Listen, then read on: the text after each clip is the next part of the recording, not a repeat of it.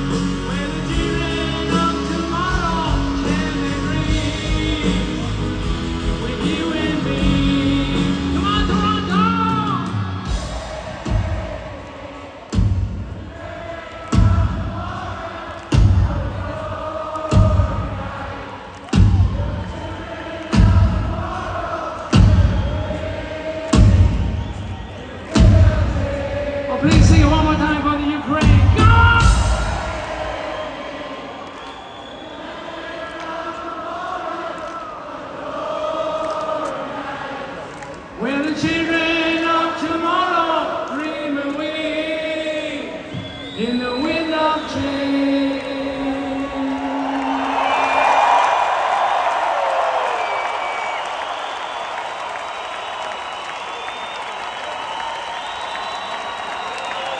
We you,